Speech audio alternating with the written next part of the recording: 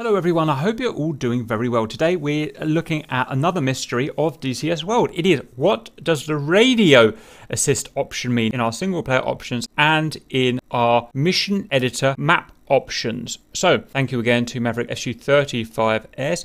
The radio assist is nothing else than the missile warning system, and if checked, it would automatically turn on the missile warning system for the aircraft which normally have something like that available in reality, such as the Su-25T, A-10C, F-15, Su-27, MiG-29, and off for those which don't have it in real life, helicopters, A-10A, Su-25A, MiG-21, F-18C, and so on. From my opinion, there is very little unrealism in having this feature turned on by default, as the simulated MWS also takes care of missile distance and blind spot angles from which it cannot alert of incoming missiles, and it should normally be set to on by Eagle Dynamics when we check the simulation checkbox in the game's menu. Also, all modern jets now have MWS equipped on them in order to alert of incoming IR missiles. Its primary purpose. We need to talk about what the MWS system is. It's not the same as an RWR. An RWR will give you audible warnings and visual warnings of when a radar guided missile is fired at you. An MWS is nothing to do with the radar detection at all. It literally detects missiles by, I think, the heat of their engine or something like that.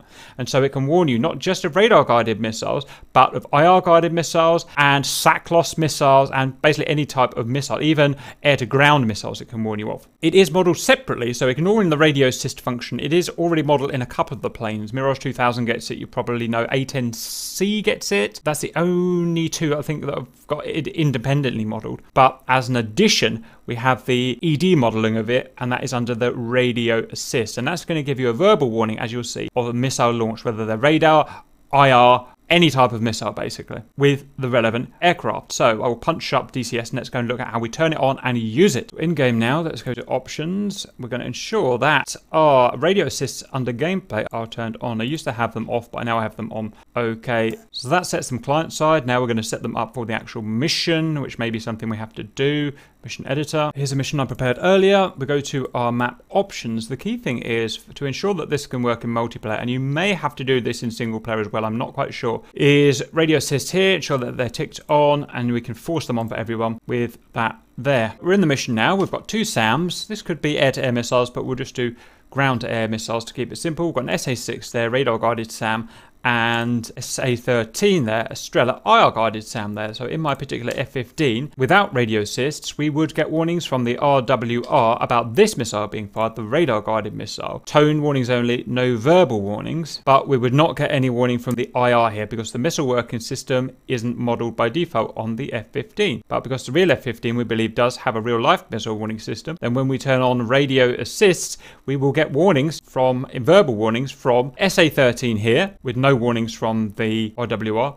And for the SA-6, the radio guarded missiles, we will get our normal RWR warnings plus the radio, the verbal warnings as well. So save time, we'll well we'll go and do both, shall we? We'll go and do the Strela first. So that is 116. Okay, let's go and find that bad guy. I can make my position clear. There I am. Brr, brr, brr. Look, I'm up here. Sound. Come on, shoot me, dude. See, he's not going to play ball. Ah, just take your time. Right, he is now going to shoot me.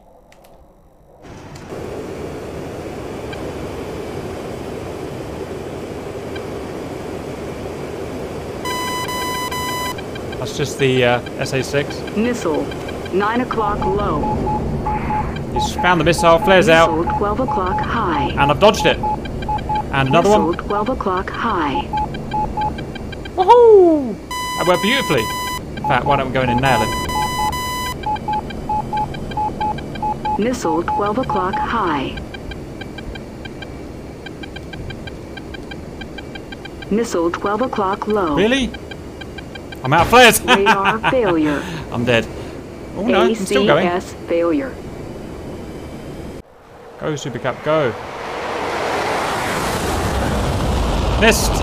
Okay, I better go and get a new plane and I'll show you the SA-6 quickly. Okay, just going to fly towards the SA-6 with radio assists on.